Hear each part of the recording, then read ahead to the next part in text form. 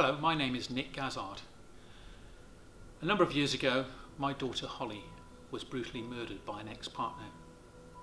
Hollie was a fully qualified hairdresser but wanted to travel and therefore she combined her travelling with her hairdressing and wanted to work on a cruise ship. Whilst waiting to go to train, she started to work in a bar in Gloucester and it was there that she met a chap called Asher Maslin. Hollie didn't know it at that stage, but not only was Maslin going to dominate her young life, he was going to brutally end it.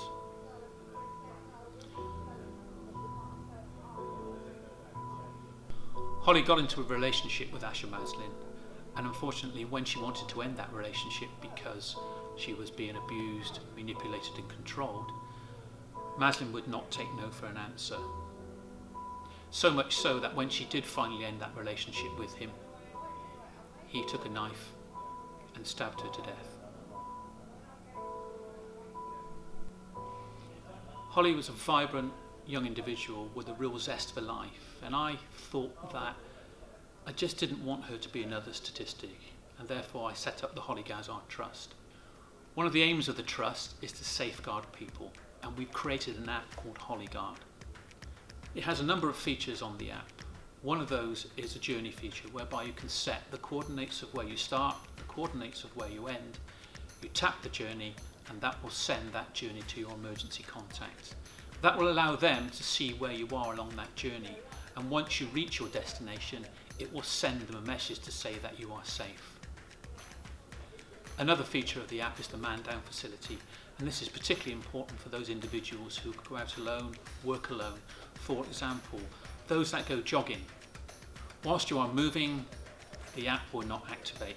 But as soon as you stop for a period of time and you set that period of time, the app will activate the alert and send that alert to your emergency contact. They can click on the alert and they can see what is happening. This is particularly important in case you've fallen and may have injured yourself. Once you've downloaded the app, you are in complete control and empowered to use the app how you see fit. The way the app operates is that you set up an emergency contact, the person that you would like to receive an alert if you are in potential danger. When you want to use the app, all you do is click on the icon. The app then starts to work in the background and track you via GPS.